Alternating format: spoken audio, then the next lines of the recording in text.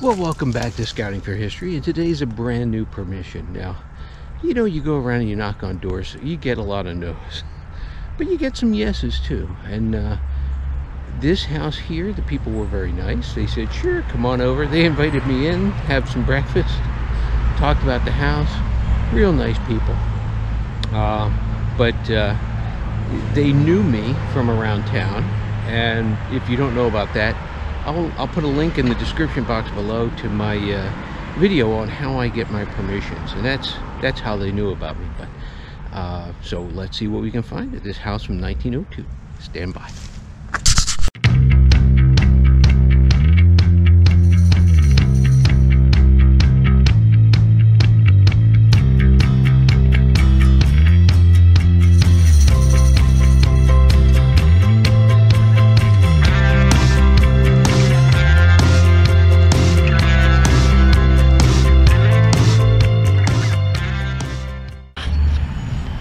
And the first signal of the day is a wheat penny. On to the next.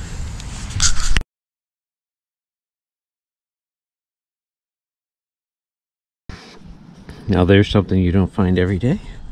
It's a live bullet. On to the next. And now about six inches deep, piece of a pocket knife. It was a squirrely signal. There's some iron still on it, but brass, it sounded pretty good. On to the next. A nice Indian signal here. Might be a zinc penny.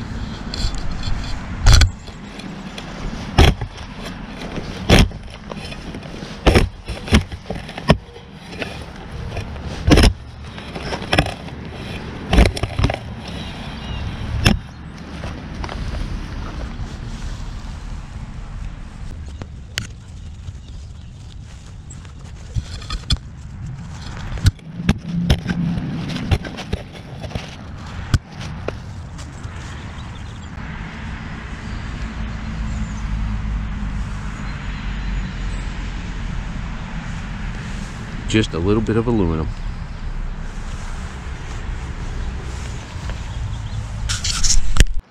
A nice signal here too.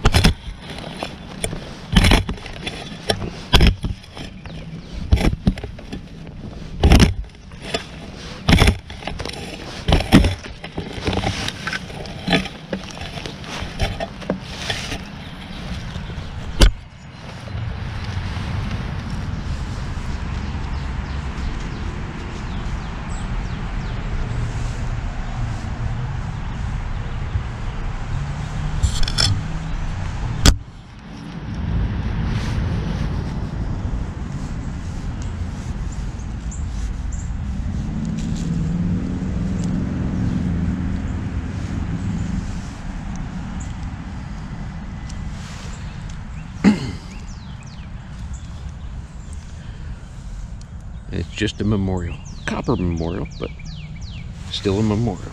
This is why I don't do too many live days. On to the next. I don't care what the groundhog says. This is a sign of spring. When the crocuses come out, it's time for spring. Beautiful day. On to the next. Well, the first interesting relic, it's a two-piece button. It looks like a band button. It's got a band symbol on the front that's cool. On to the next.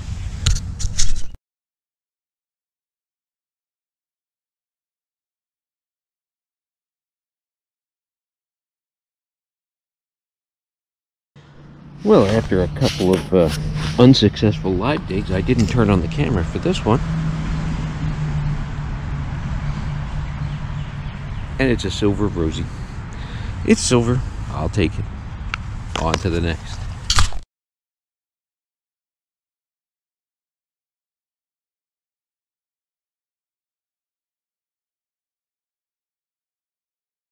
Another good high tone here.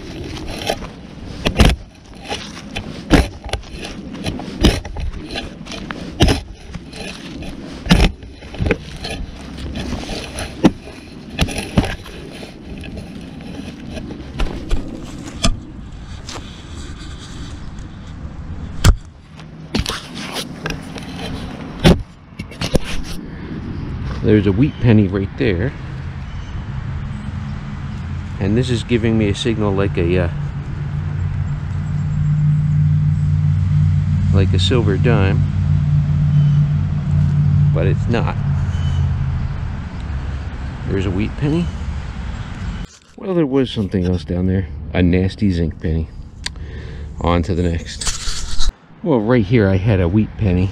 And then right here I was getting a nice silver dime signal but of course it's not. It's an aluminum nail. Yikes. On to the next. Well a nice deep signal.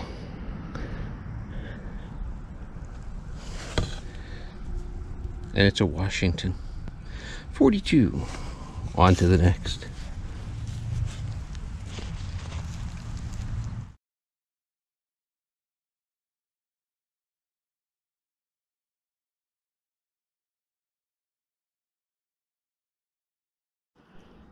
Well, after digging up this quarter, I thought I turned the camera off, but apparently I didn't, and I wandered around the yard digging up trash and signals and things, talking to the homeowner for about uh, 15, 16 minutes.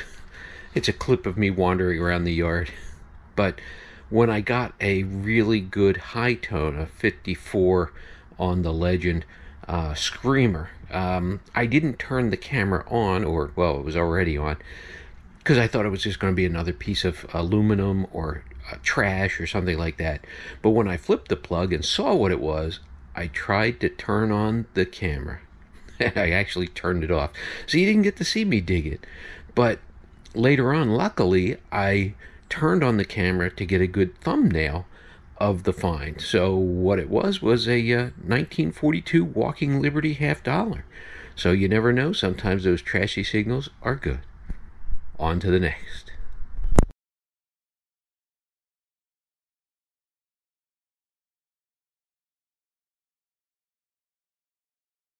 Well, for a minute I thought I was going to go a whole day without finding a buckle.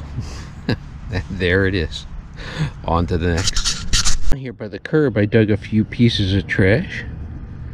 But now, that's, that's not trash. Ah, it's just a Rosie. That's okay. I'll take it. It's silver. On to the next.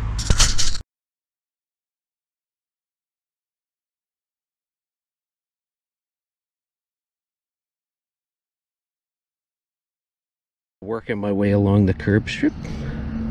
Wow, the front is really crusty. But the back, wow, that'll clean up nice at the back anyway. It's a war nickel. You can tell by the Philadelphia Mint mark above Monticello.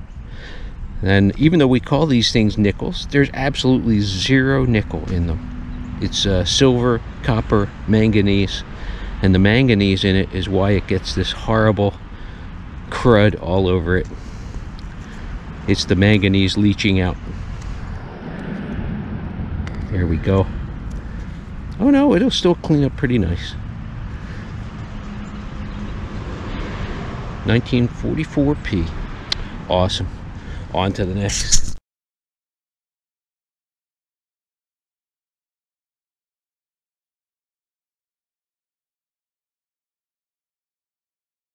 Well, a nice high tone here.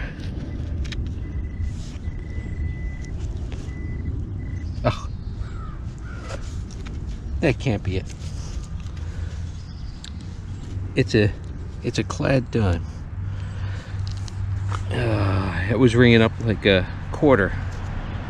On to the next. There must be something else in the hole because that silver dime was ringing up in the low 40s and usually they're around 48 49 high 40s but another silver for the day awesome on to the next